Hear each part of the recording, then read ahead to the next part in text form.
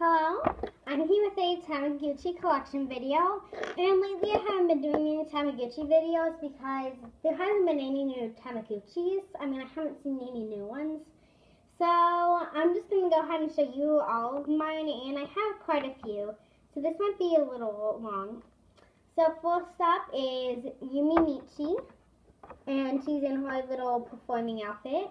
And next up is the other Yumi Michi, and she's just in her regular outfit. And I'm going to try to find a way to um, make them take up less space since there's so many that I have. And then next up is Kiriachi, Kirichi, Kiriachi, one of those. And she is the best one. And then next up is Patichi. And I love Patichi so much. She's so funny and cute looking.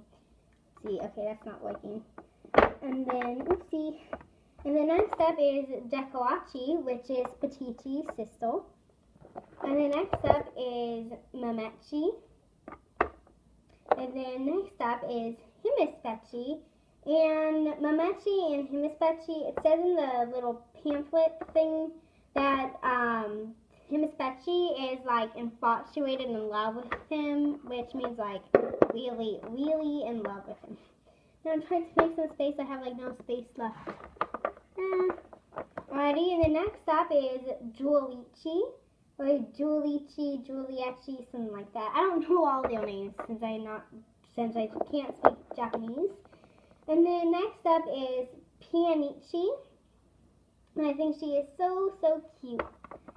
And then after that is Hype Hypechi. That's a funny name. I'm gonna have to stick you. Wait. I'm guys, sorry. Alrighty, the next up is Yukin Kochi, and I just love her so much. She's just so pretty. And the next up is um, um, Kiyomochi. I think that's her name. Yeah, Kiyomochi. and she's just so funny in the show. You need to check out the show if you haven't yet. And the next up is Fofolichi, something like that. Oh no, I'm gonna have to start making like. And then next up is you, um, Yumi Meet. Wait, Yumi Kenshi.